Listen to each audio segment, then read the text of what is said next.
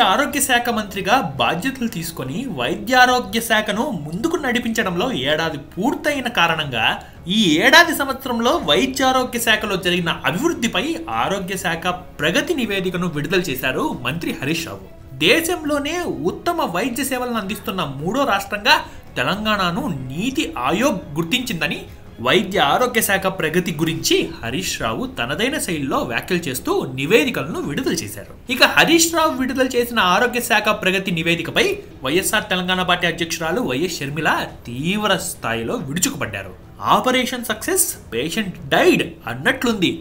ఆరోగ్య శాఖ మంత్రి హరీష్ రావు గారు విడుదల చేసిన హెల్త్ రిపోర్ట్ అంటూ టార్గెట్ చేసిన వైఎస్ షర్మిల హరీష్ రావు చెప్పినవన్నీ అబద్ధాలేనంటూ తనదైన శైలిలో మండిపడ్డారు. అబద్ధాలు అదికినట్లు చెప్పినా అవి నిజాలైపోవు మంత్రి గారు అంటూ పేర్కొన్న వైఎస్ షర్మిల పరికరాలు సమకూర్చాము భవనాలు కట్టామని గొప్పలు చెప్తే సరిపోతుందా? పిహెచ్సి నుంచి జిల్లా ఆసుపత్రి వరకు వస్తున్న రోగుల సంఖ్య ఎంత? వారికి వైద్యం అందిస్తున్న సిబ్బంది ఎంత? అంటూ ప్రశ్నల వర్షం కురిపించారు.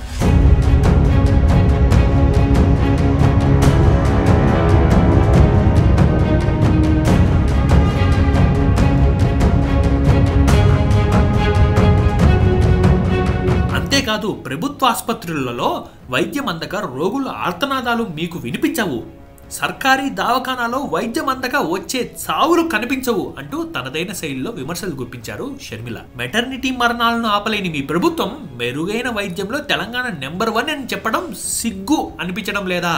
అంటూ వైఎస్ షర్మిల హరీష్ రావును ప్రశ్నించారు. అలానే ఆమె చెప్పుకొస్తూ ఇక ప్రభుత్వ ఆసుపత్రులలో పరిస్థితి ఎలా ఉంది అంటూ ఆమె చెప్పారు. ఆసుపత్రులలో నర్సులు ఉంటే డాక్టర్లు ఉండరు. డాక్టర్ ఉంటే ఇతర సిబ్బంది ఉండరు. ఎక్స్రే సిటీ స్కాన్ ఇలా స్కాన్ల లాంటి యంత్రాలకు టెక్నీషియన్లు లేక ఎన్నో ఆసుపత్రుల్లో మూలలు పడ్డాయి. ఆ- ఆ స్కాన్ల పరికరాలు అంటూ ప్రభుత్వ ఆసుపత్రుల పరిస్థితిని కళ్ళకు కట్టారు. జిల్లా ఆసుపత్రిలో మూడు వందల మంది సిబ్బంది ఉండాల్సిన చోట ముప్పై మందితో వైద్యం అందించడం అభివృద్ధి అంటారా?